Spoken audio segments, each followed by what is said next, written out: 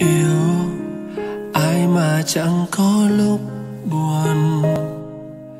Thương, ai rồi cùng đến lúc buông ừ thì anh phải đứng dậy thôi, nhật ký cất đi rồi.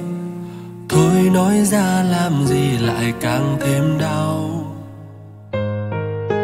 Nếu quay thời gian đến lúc để nói rằng này chàng trai hãy nhớ cho người con gái cô đơn lắm đây.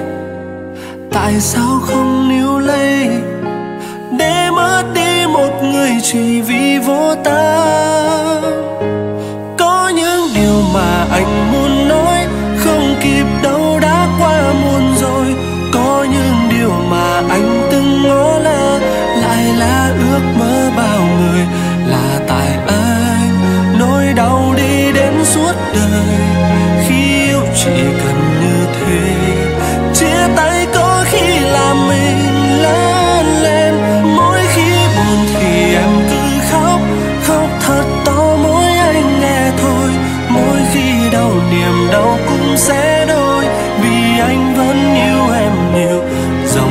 gian sẽ trôi để anh thấy rằng chia tay thì ta mới thấu mình đã sai từ đâu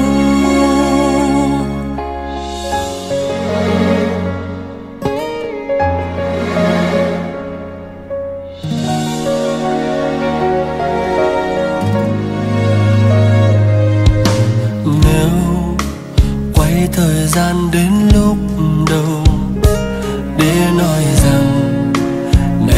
này trai hãy nhớ cho người con gái yêu đôi lắm đây tại sao